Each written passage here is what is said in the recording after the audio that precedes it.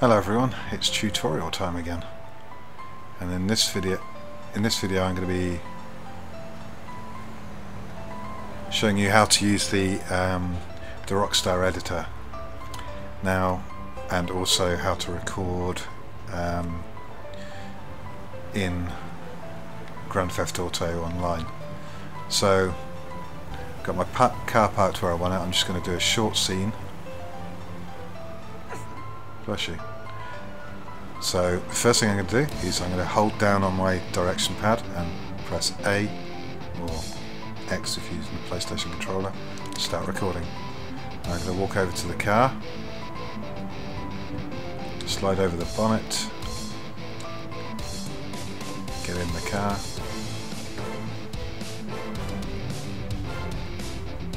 don't worry about um, you need to be in third person when you do this by the way well as you can.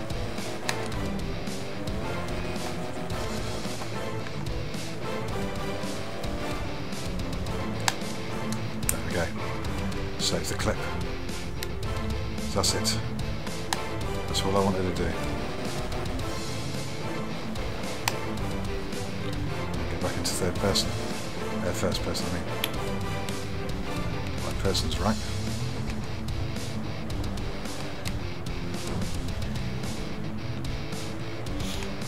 so I wanted to record that that part at night. So in this I'm, I'm going to be showing you how to edit that so it looks nice, um, export it, and then in the next part I'm going to be showing you how to make um, a GTA style intro in um, Sony Vegas. So what we want to do now is go to online, uh, leave GTA Online. Going to take us back to story mode, and this is where we get the 3D editor from. Sorry, yes, 3D editor, Rockstar editor. So as soon as it gets to character, I'm just going to hit the uh, escape key or the select key, start key.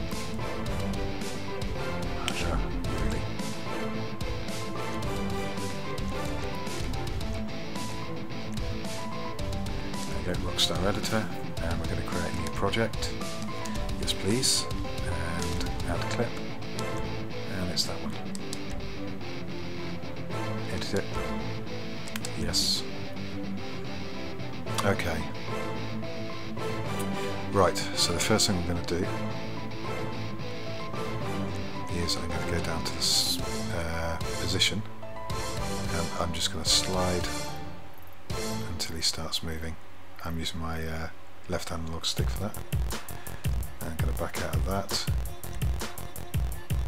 Uh, edit marking, change camera. I want to have not a front one or a side. Yeah, that'll do. Um, let's shake. Gives it a bit more. Just going to wait till it gets to about there. Add a marker. So I just press A on my gamepad for that. Now I want a free cam. Sure I don't have blend mode on because otherwise the camera starts following him around and stuff. And then I'm going to take it over to this side. And I'm going to try and make it so I can actually see him. Yeah, that's it, quite, quite like that. I'm just going to scrub it along a bit so you see him coming. No, that's bad. I should have actually left that. So I'm just going to edit marker cameras. Edit camera. Just raise it up a little bit. Yeah, maybe about that. Scrub. Scrub along with the right analog stick until he gets to there. Then I'm going to put the camera around back behind him again.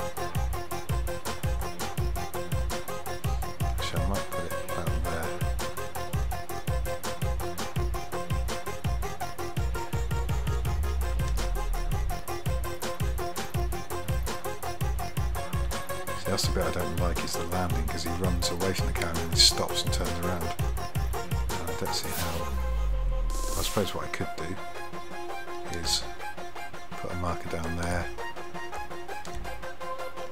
and then have a quick look up the street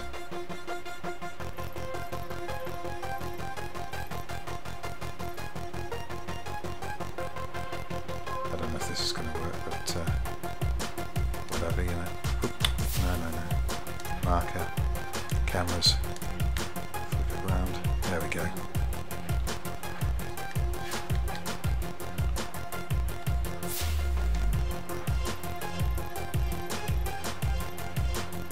Just want to wait till he gets in and shuts the door.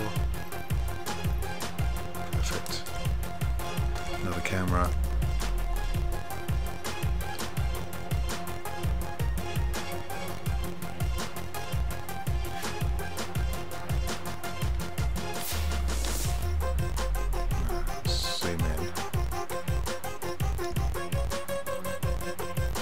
Lights come on.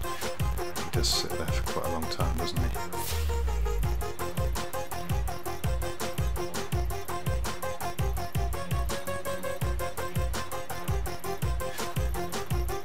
Awful long time.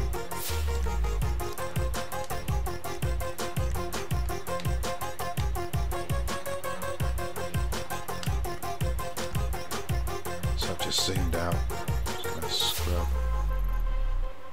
Gets to about. I just wanted to get off camera. Right. Now I'm going to add another another free camera, and I'm going to put this.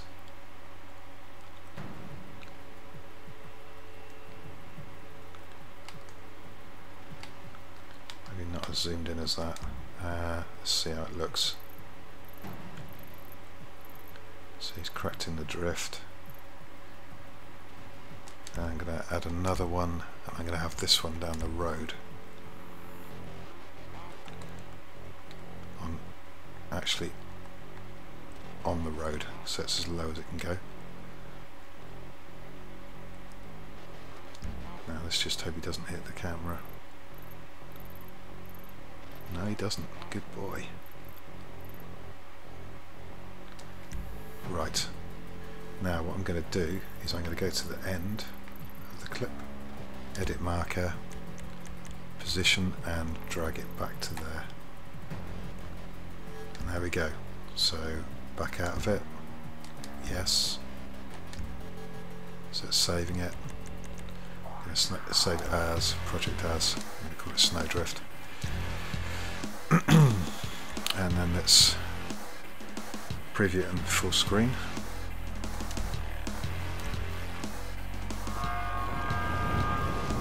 Walks over, camera changes, looks up the street.